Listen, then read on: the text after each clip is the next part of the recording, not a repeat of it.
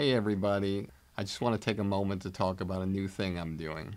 Over the years, many of you have reached out to me telling me how much you love the podcast, but also wish there were more personalized takeaways and more in depth interactions with our guests to hear what they think about comedy. This is why I'm now launching my new digital academy, Blueprint for Success. With exclusive interviews and comedy philosophies of stars and industry veterans, personalized versions of the industry standard podcast, commercial free, and one on one coaching time with me. Blueprint for Success will give you the powerful tools that will take you up the elevator beyond the competition and reach the highest possible levels to achieve your dreams. Whether it be stand up, sketch, improv, acting, writing, producing, directing, hosting, radio podcasting, social media influencing, or even if you want a career behind the scenes as a manager or an agent. Now I'm here to help, personally. We'll go on an express train of comedy and entertainment like nobody else has before. You can find out more about Blueprint for Success and the comedy business on my website at barrykatz.com. Together, we'll take your career where you want it to go. Three dimensional, actual, fully formed people are less memorable on the first time you meet them than a cartoon who comes out and blows up. You know, I got my funny glasses on, I got my funny suit, I'm screaming. That sticks into a person's head, you know audience member's head. And so they, I think they can get traction faster. And that, that's what it's all about, isn't it? Traction. All these people today on Facebook and Twitter trying to Instagram, it's all about trying to get traction with an audience and getting some kind of recognition and be memorable. So some people come out with memorable material, and other people come out with a firecracker in their ass.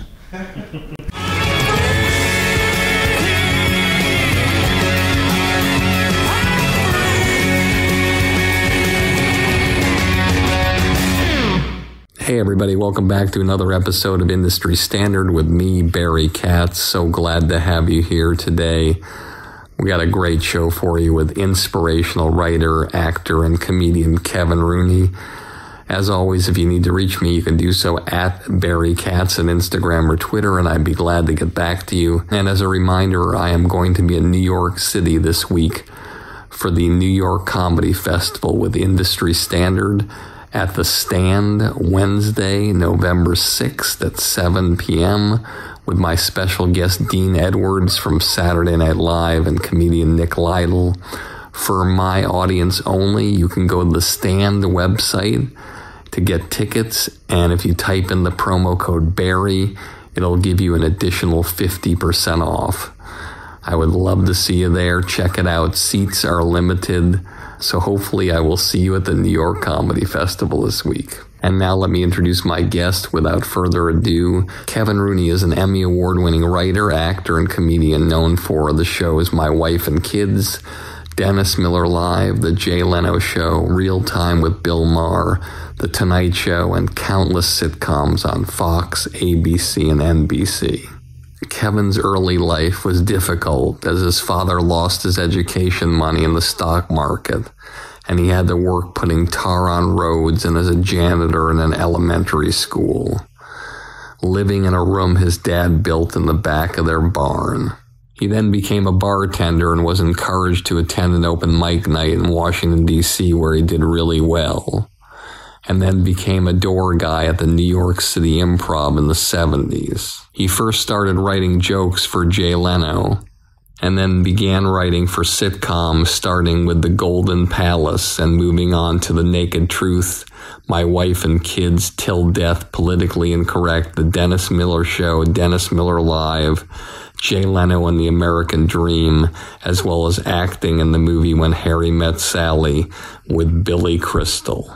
He had an overall deal with Castle Rock while Seinfeld was the number one show on the air, won two Emmy Awards with Politically Incorrect, was a war veteran, and suffered a stroke a few years ago, which hasn't stopped him one bit but probably he's best known for his extraordinary work with Dennis Miller to develop, write, and create the comedy rants, which influenced a generation of comedians and a worldwide audience.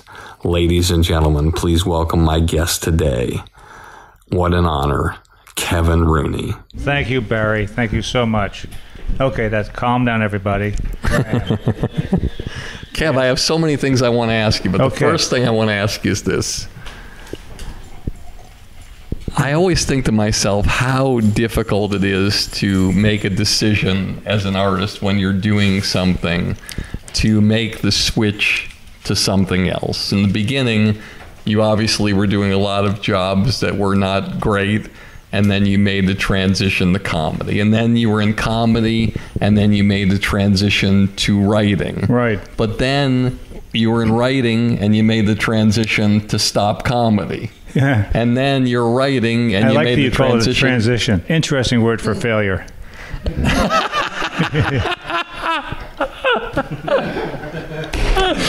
I've been transitioning all my life from one failed job to the next until I got myself here at a nice table with you in the Hollywood Hills in my shrubbery. How do you live in a house like this with more skylights than I have rooms in my house?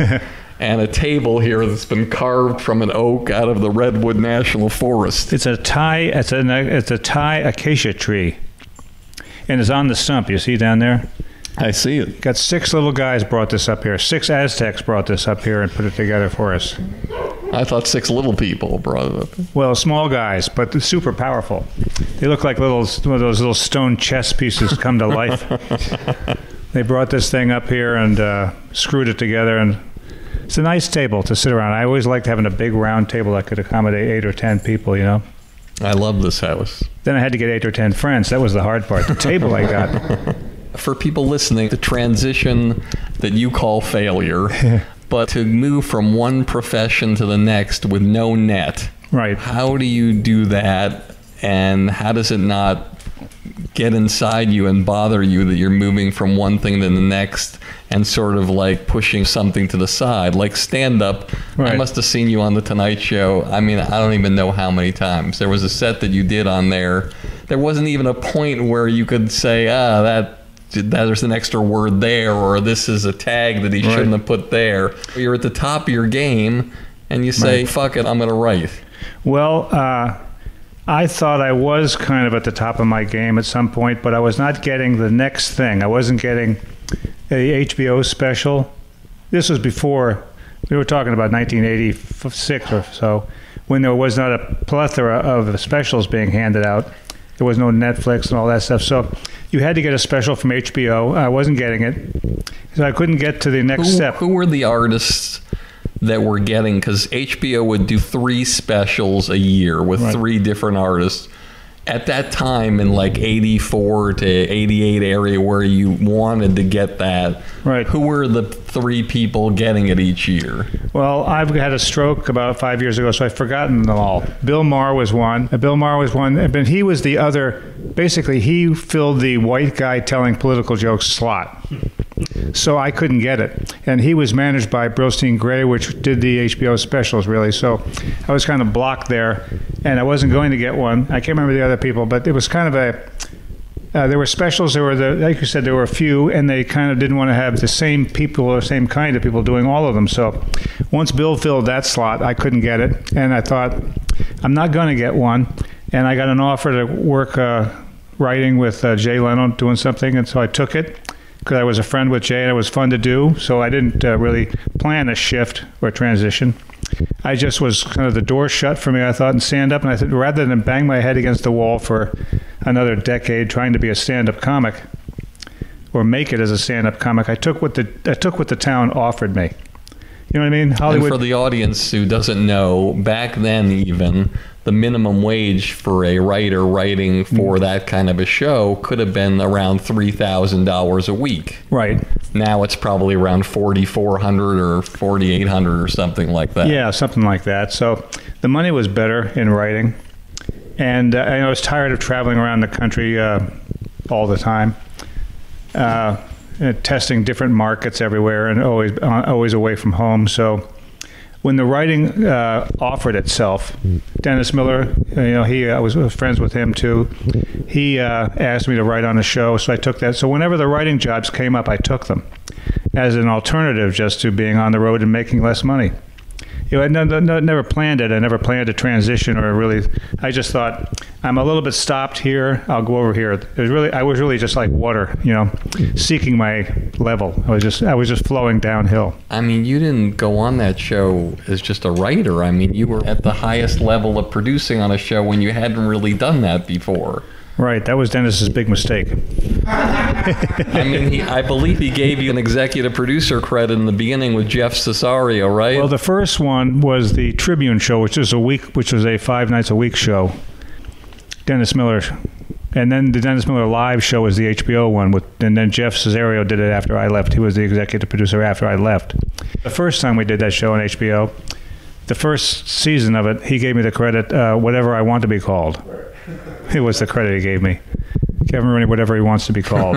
and uh, uh, I, I, enjoyed doing that show. And it, I wasn't the executive producer of it, I was just a, a head writer.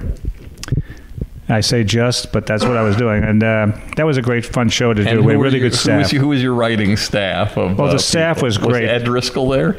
Ed Driscoll was there, yes, and uh, very talented, hilarious. funny, unique. He was a, guy. very quirky guy with a great sense of humor. And uh, Drake Sather. Of course, the late Drake Sather. Well, that was not the HBO show. That was the Tribune show. Drake Sather. Uh, Barry Crimmins came in for a while. Norm Macdonald. John Riggi. Uh, uh, the guys who created Will and Grace. Max Mutchnick and Dave Kohan were there.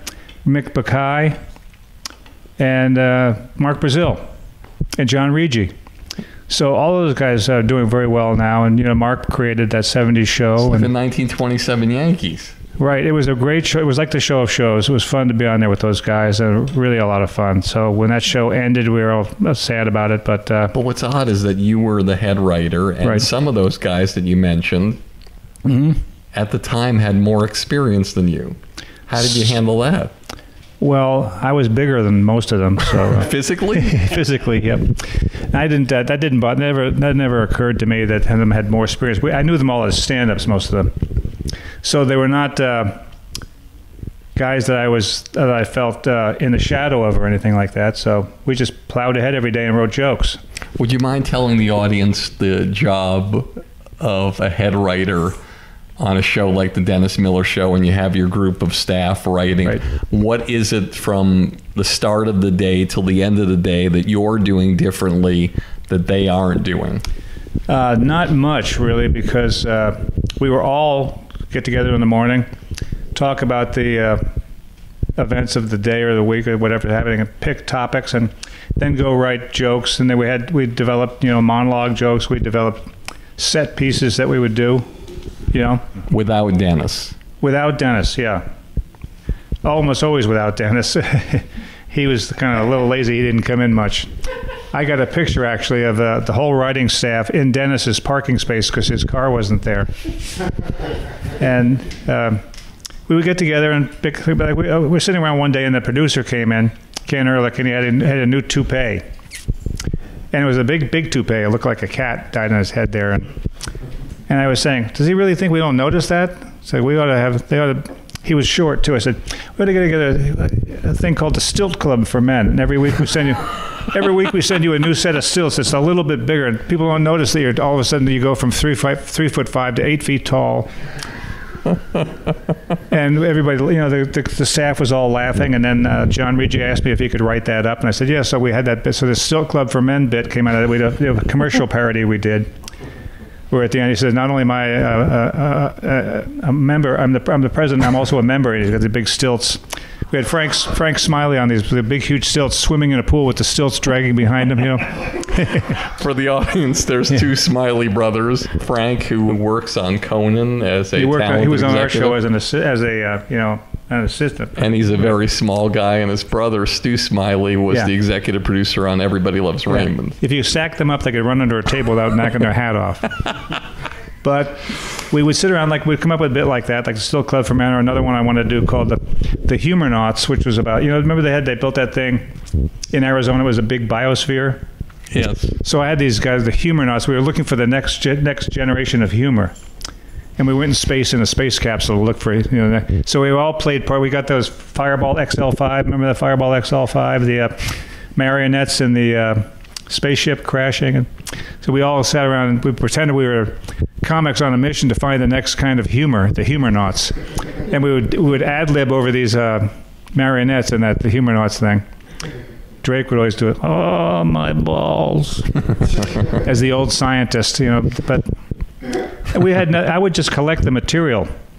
At some point in the day, I would collect everybody's material. So you're the arbiter. So you get everybody's material, then you go through it and you edit it and decide what jokes are out and aren't going to Dennis. Right. You you edit. You look and say, "Here's a joke that's a.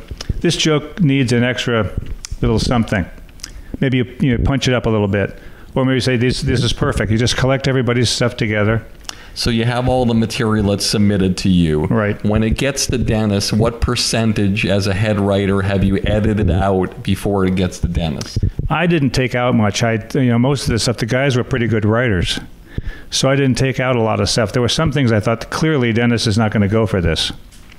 Uh, I would take it out, but most of the stuff was fairly good, and we needed a lot of stuff. So you had to have a pretty good stack of material to go through every day. When you're generating that much monologue material and, and desk, desk pieces for a five day a week show, you've got a lot of material to go through. So some of the stuff you might take out and save it for later in the week when you, you have a backlog for stuff when you really run dry, if you run dry.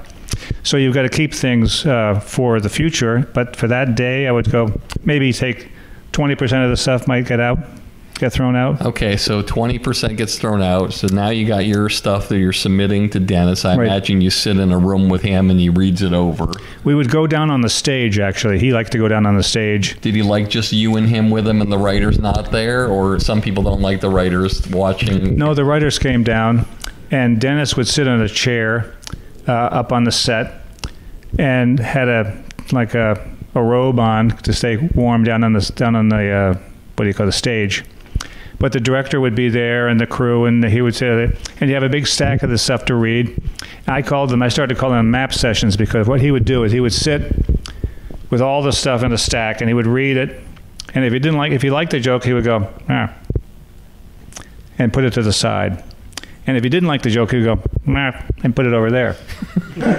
so I call them map sessions. You know, let's go down for the map session, and uh, we would all go down and watch him go through a thing and go map, map, map, map, throwing them in and out, and see who's got jokes got in or out. And at the end of the map session, you'd have the jokes Dennis liked, and you might have enough to cover the day, or you might not. Might have to go back and write more. On an average day, Right. you give him all the jokes and he's got them eh, eh, Yep. left or right. So, in your opinion, on an average day, what percentage of those jokes got into the show? I would think something like sixty. Well, that's pretty good. Yeah, it is. We always had good. Uh, always had plenty of material. You know, we were we were happy with a lot of the material. So, uh, and he was happy with a lot of material. Hey, everybody. I hope you're enjoying this episode as much as I am. If you made it this far and you haven't fallen asleep yet, then you must be the type of person who's serious about having a career in the comedy business. That's why I'm offering you my Blueprint for Success, a one of a kind all access pass into my knowledge and experience after over 40 years of working with the best of the best in this crazy entertainment industry.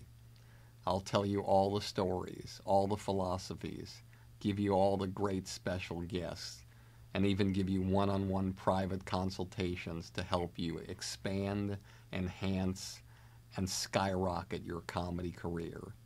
Just go to barrykatz.com and click on Blueprint for Success to learn more about my groundbreaking digital academy that I've created just for you. With it, we can take your career so far that one day, instead of listening to this podcast, you'll be interviewed on it. Hey, everybody, and I wanted to thank some of the sponsors on the podcast, starting with AquaTrue. If you haven't bought this countertop water purification system, you have to do so. It's incredible. It turns tap water into your favorite bottled water instantly. It saves you thousands and thousands of dollars. It gets rid of all those plastic bottles that you have in your trash. Thousands and thousands of listeners have bought these. Everybody loves it. Not one complaint. It's incredible.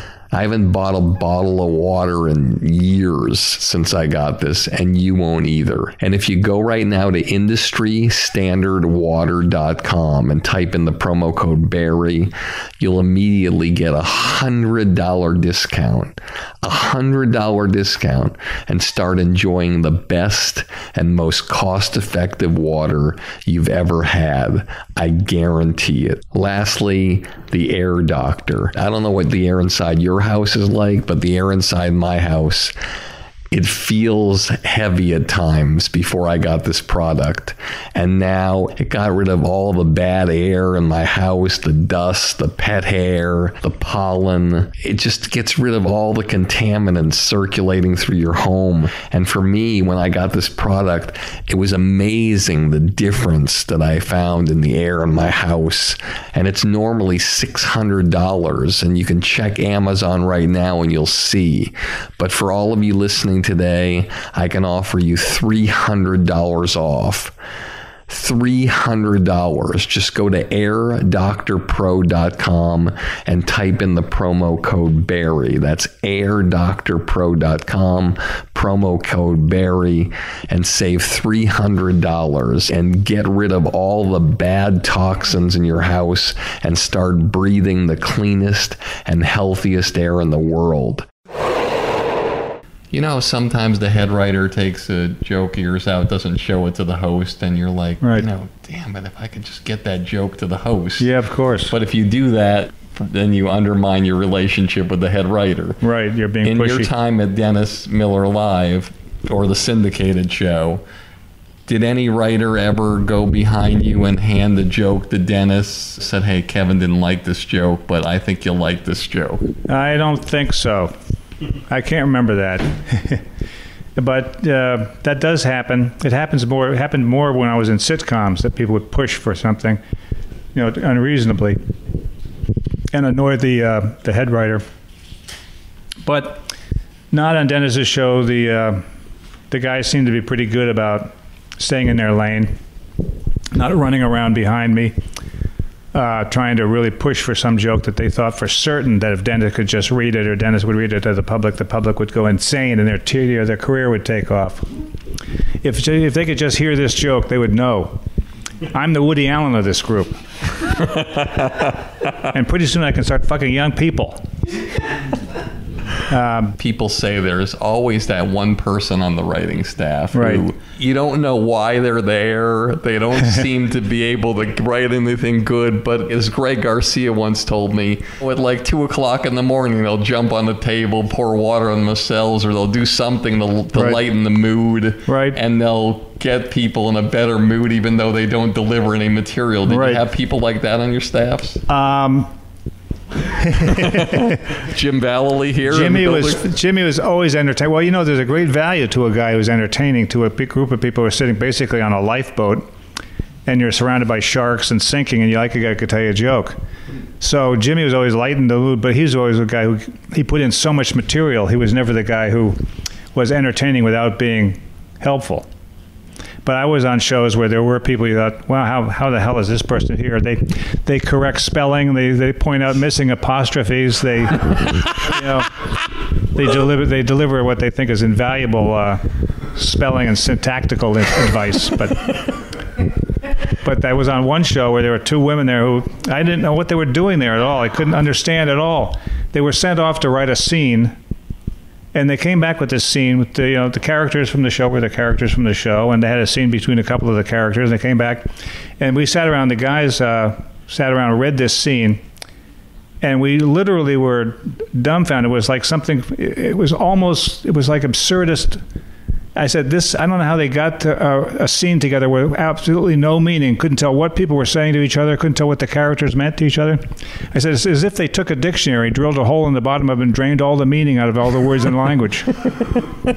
I couldn't believe it. And they were just on staff, and What'd you say to them? nothing. You can't say anything. You can't say, you know, this is absurdist humor. Did you did you blow Howard Harold Pinter or what? What's going on with this thing? I think there's very few geniuses who are performing stand-up comedy today. Now, Really? not ones who passed away. Music. If I asked you to name I'm sure you'll make a joke here, but if I asked you to name all the geniuses in music, you probably could name 25 without anything. But if I asked you to name all the geniuses in comedy Right. who are doing comedy now, it'd be hard pressed to maybe mention five. And I feel like I'm guilty because I haven't always put Dennis Miller in that category. But when I think back to the, the show, especially Dennis Miller Live, mm-hmm. there's one thing about a guy like Leno delivering the jokes that your staff Right. does. But there's one thing where a staff writes to the point of view of an artist and the Right. way he delivers his jokes and the way his brain works and thinks out humor. Right. And when I think about the old Dennis Miller live show, to me, I feel like I have to put Dennis Miller in a category of brilliance and genius. Now, in terms of socially and. His, and his relationship skills with other comics Right. and other people, that's a separate issue. But I'm talking about just the pure writing skill of how it comes out of his brain Right. and goes on the page, or how he delivers what the writers write. He had I- a specific point of view, and he, he had a good voice for it, actually. And he had uh, a facility with language that was uh, obvious, you know. And so I think his point of view and his language really was a solid character, and it, and, and dovetailed with mine very closely. So I found it easy to write for him, and I think he found the stuff that I wrote easy to deliver in his voice, and enjoyed it for that. Not not so with a lot of other guys. They have a they're funny, and they're uh, accomplished, but they don't have a the solid crystal sort of point of view you can get into. So I like writing for Dennis that way, and uh, I would put him in that category. As far as this, you know, the the the the, dis, the dissonance between his comedic skills and his, and his social skills, that's also something. A lot of geniuses, I think, a lot of what you would call the geniuses have those. They have those problems, you know. They're genius painters, genius artists, genius poets, writers, but they have a social problem. They have some kind of dysfunction with people and relationship problems. So I think that may be a function of just being smart, you know. Hey everybody, let me remind you one more time about my new blueprint for success. It's a project I've spent months and months working on just to help you jumpstart your comedy career and beat the competition. Whether you want to do stand up, sketch, improv, acting, writing, producing, directing, radio, social media influencing, or even if you want a career behind the scenes as a manager or agent, Blueprint for Success will give you all the tools you need to take your career to the highest levels. With exclusive interviews, my top 50 commercial free episodes from Industry Standard, one on one coaching with me, and unprecedented access into my knowledge and experience from over 40 years in this crazy business. I guarantee you that with Blueprint for Success, you'll become the creator you've always dreamed of becoming. No one's asking me to do this. I want to do it because I want to help you become truly undeniable. So just go to barrykatz.com, click on Blueprint for Success, and start your incredible journey today. I truly can't wait to work with you to help you change the trajectory of your comedy career forever. Knowing what you know now, and let's say you were excited about writing now, Right. and you had the choice to write for a Jay Leno who's always going to be his social skills and the way he is with you. Right. He's always going to be extra effusive, extra kind, sit with you, talk with you, tell you great job, unbelievable, I love this, versus a Dennis Miller who is a different kind of character, more like Letterman in the sense that not really doesn't really tell you you're doing a great job all the time or doesn't do things like that or Right. doesn't show you the love but puts out a product that's in another stratosphere even leno if he were sitting here would say that dennis's material is a way different edgy unique authentic take versus his Right. straight stand up right down the middle great stand up but Right. in that way which would you choose would you choose working with the guy who's no drama but the comedy isn't pushing the envelope or would you choose the guy who comedy pushes the envelope but then they push you personally I know what you're saying. Well, it's uh, it's funny because it's the same question when it came down to working for Jay or Dennis, and the question of working on sitcoms, because a lot of the sitcoms did not make you feel like you were working on a great artistic project or a, a particularly groundbreaking or interesting characters or stories. So, but there was a lot more money there. so I think it comes down to the money. Mm-hmm. Always comes down to the money. You're going to play in a really nice bar for a hundred bucks or a crappy bar for 125. All right, so I'll take the crappy bar for 125. I know you took certain sitcoms for the money, but let's do this. Let's pretend the money's the same. Mm-hmm. Do you rather work with the guy who's doing great comedy but more mainstream and it's always no drama, or the person who's doing something completely outside the box Well, but I'll- there's drama? I will flatter myself and say that I would rather work on the more artistically interesting show and more uh, aggressively comedic show. Despite the Despite trials the- and tribulations. Yeah, despite that, because I have never worked with anybody that's so bad you can't get along with them. At some, you know, most of the time. Dennis wasn't hard to get along with when we were friends. It wasn't wasn't a problem. And Jay, I love. He's a great friend. So I didn't. I haven't had that to make that. But given the oppor- given the opportunity, I think you want to work on the more challenging show, the one that has more cachet, the one that would that you could walk around town. and Say somebody says to you, "What shows do you work on?" You want to say, "I wrote uh, Seinfeld. I wrote Fleabag." You want to say that.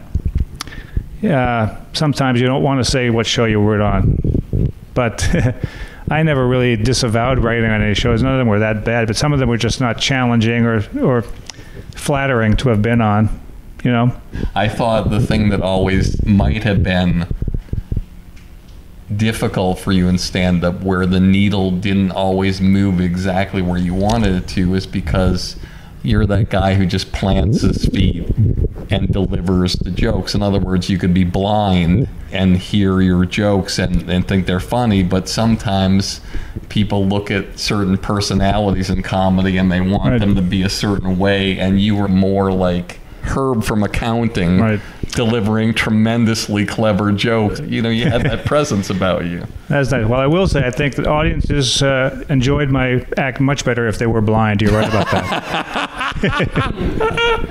You're right about that. Yeah, so I always felt like even when I went to see you, and I'd see you a lot in the back of the Right, room, I'd right. be like, God, this guy is so clever, so amazing. But I think sometimes in that time in the 80s, if I Right. could say something that you might disagree with, Okay. that was a time when your personality and your character had to be overblown and you were just a regular guy who was somebody's brother or their father or Well, I used to think about that at the time. The, like with Jay, I watched Jay go from a comic, a well-known uh, comic in the comedic circles, to the celebrity status he got. You know, over the course of getting the Tonight Show and the co-host and all that stuff. And I realized he was a three-dimensional person, and he presented three-dimensional kind of material. And so it took a while for the audience to catch on to him, like it does if you're just walking around. If you're meeting people, normal people take a little while to sink in. But a two dimensional person who's kind of cartoonish latches onto your head faster. That's why Drew Carey always had the, the suit with the big glasses, and he became a cartoon that you could always recognize. And people who, like you're saying, overblown characters are basically uh, two dimensional, and you can really latch onto them. So those people become, they, they, I think they get traction faster. And they're memorable. especially during that period of time where it was Right. a critical time for you. Right, it was memorable. So I did not pay attention to.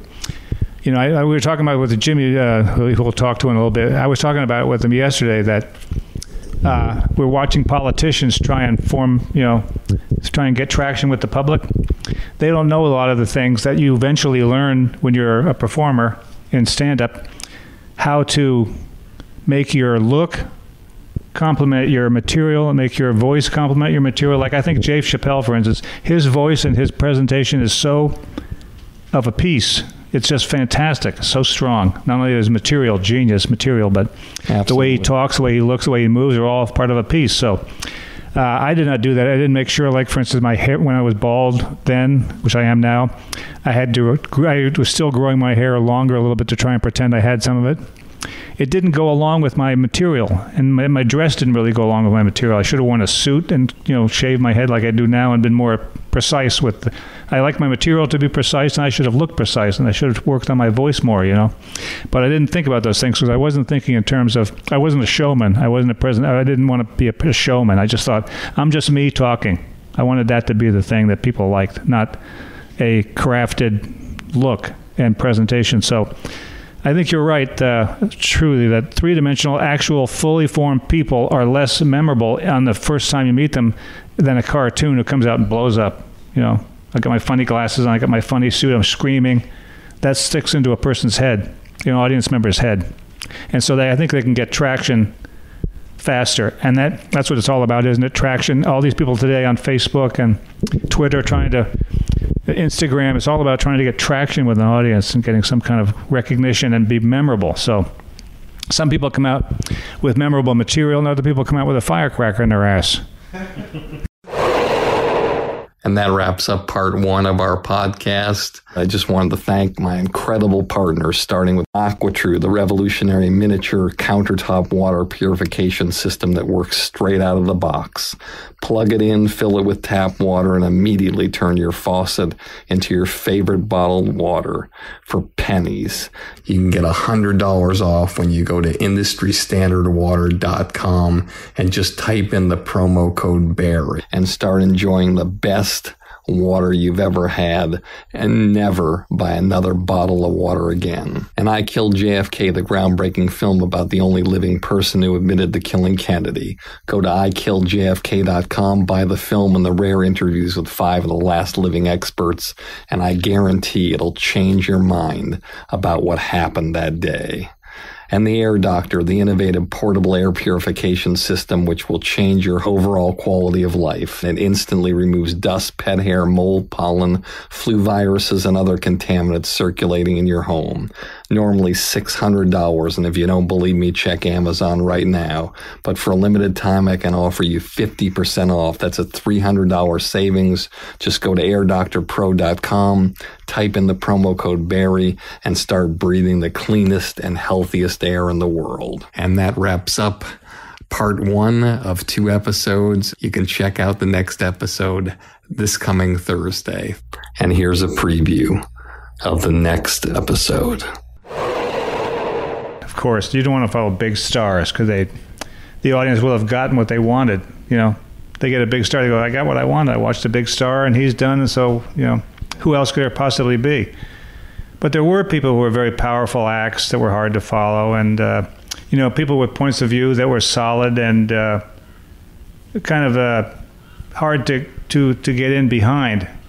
You know, you, their point of view just was too strong to push off the stage when you got on. As always, this has been Industry Standard with me, Barry Katz. And if you like the show, tell all your friends. And if you don't like the show, tell all your friends. You get all the money, drive that fancy car. All the people love you, you're going far. Life is for the dreamers. They have all to gain. It's never quite over till it all feels the same. You pick your own poison, dig your